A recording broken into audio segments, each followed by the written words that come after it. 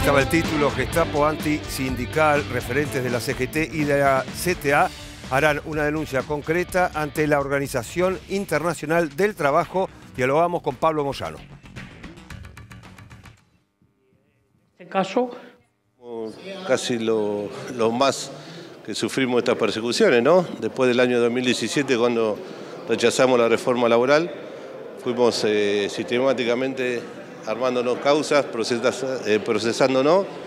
Eh, yo hacía una comparación, ¿qué diferencia hay entre el ex ministro este animal Villegas, ministro de Trabajo, con el ministro de Trabajo de Rafael Videla? En ese momento se llamaba el general Liendo. ¿Qué diferencia hay? Si los dos están hablando de desaparecer trabajadores, desaparecer gremios, de bajar el salario, de congelar las condiciones laborales. ¿Qué diferencia hay? Son prácticamente lo mismo. La derecha, que no gobernó, con la dictadura militar.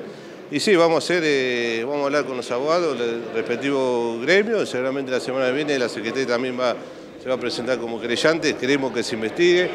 Yo no entiendo todavía cómo, si tuvieran un poquito de dignidad, cómo sigue estando Garro como intendente, el señor Alan, senador provincial de Cambiemos, cómo sigue estando el procurador general de la provincia de Buenos Aires, Conte Grande, que fue el ideólogo eh, judicial que utilizaba Macri para procesar a los trabajadores y gente que estábamos en la calle contra, contra ese modelo económico. Ojalá, ojalá que la justicia de una vez por todas haga justicia, investigue y procese y cane a todos estos tipos que tanto daño le causaron al país.